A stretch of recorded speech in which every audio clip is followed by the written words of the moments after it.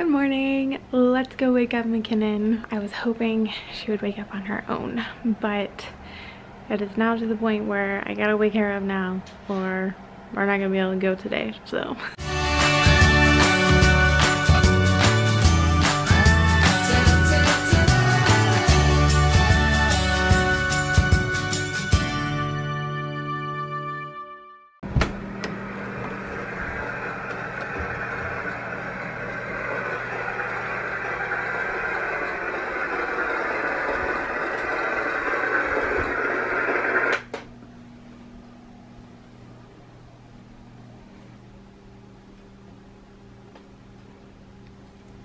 Baby.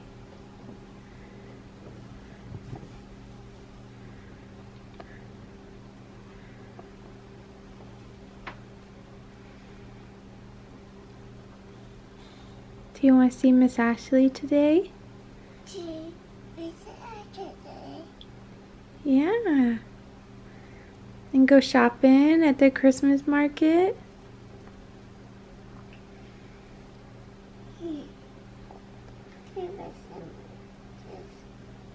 What?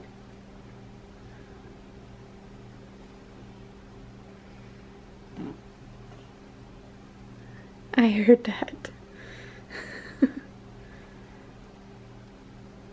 I, I, yeah. I got some waffles for you. No, we don't have peanut butter toast, but I have waffles.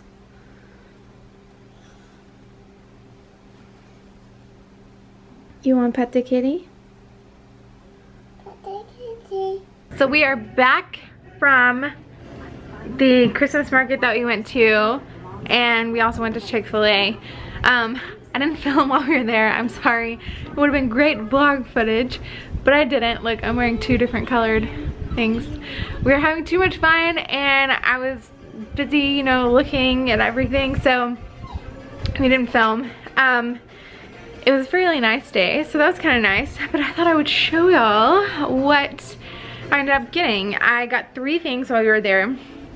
The first is this amazing vintage tree topper. It actually goes this way. It's in there upside down. Um, but it'll go on the tree like that. It's going on McKinnon's tree. You can't really tell in this light, but it's actually kind of like a bluish color.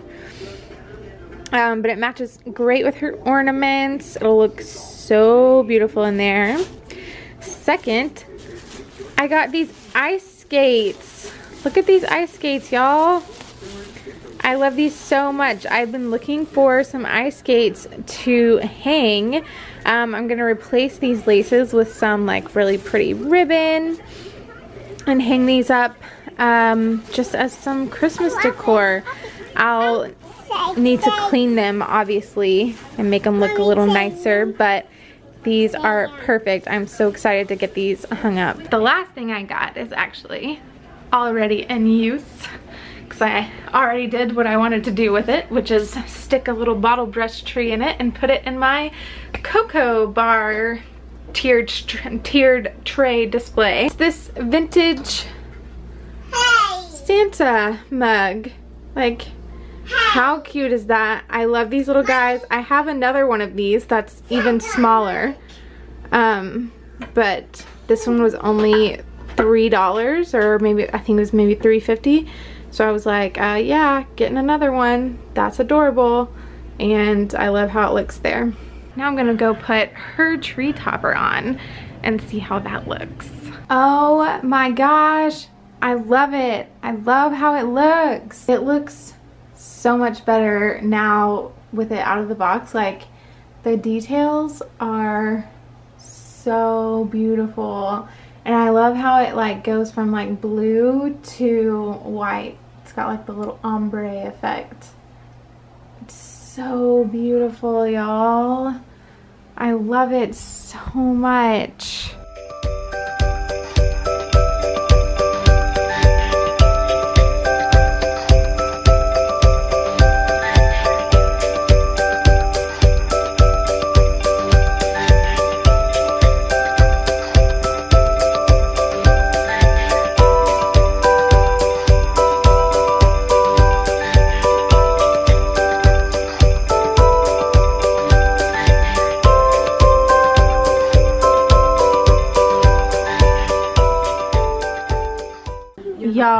I think this might be my new favorite thing. I need to turn on the light. All right, now you can see a little bit better.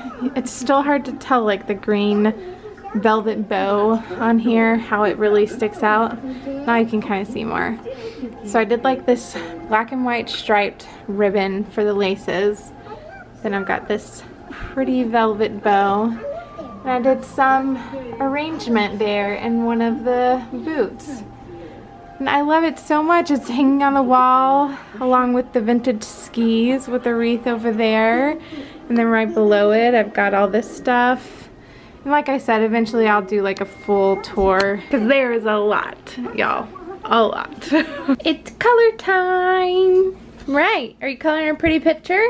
Coloring a pretty picture. it's also making dinner time. This is what I'm making for McKinnon. And I'm gonna have the leftover fried rice. Because McKinnon wasn't a huge fan of the rice. So I'm gonna have it and let her have what I know she likes, which is grilled cheese.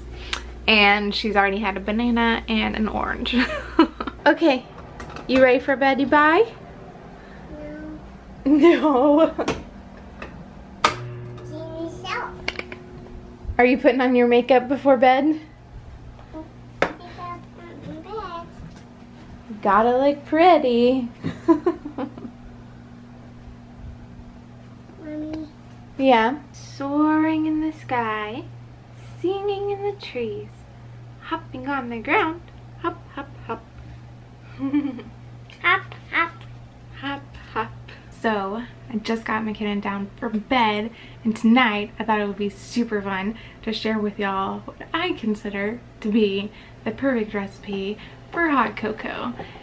Tonight I'm making a little bit different hot cocoa. I'm not doing just a normal hot cocoa, but I will tell you what I think is the perfect recipe for regular hot cocoa, and then also what I'm making tonight, which is peppermint hot cocoa. So first up, what you need. I always say it has to be Starbucks hot cocoa because you can't, like this is like the ultimate hot cocoa. Some people say Swiss Miss.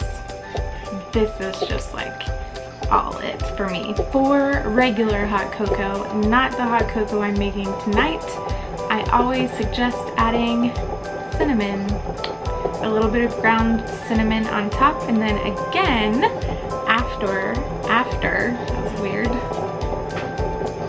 you put this on top yes I always say add a little bit of this on top because it just makes it better and then optional are mini marshmallows I'm not doing mini marshmallows tonight because I'm making peppermint hot chocolate tonight which requires a piece of a candy cane, not a whole candy cane. You do not need that much to get the peppermint taste in there. You just need a piece of one. A piece of a candy cane for the peppermint hot chocolate. I will still do the whipped cream. I'm also gonna do some Christmas sprinkles just for fun.